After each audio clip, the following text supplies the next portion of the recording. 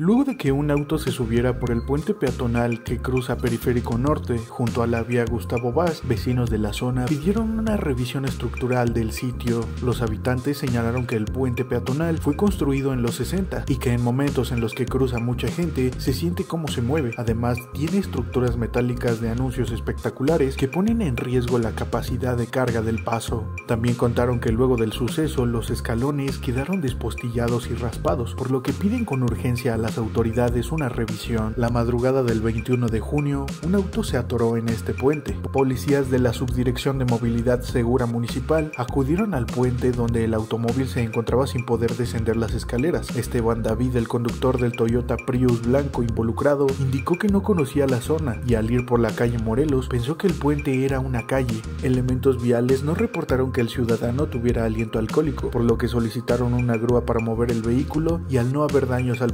municipal, el conductor solo cubrió el costo del arrastre. Aléjate de las fake news y mantente informado. Suscríbete a nuestro canal.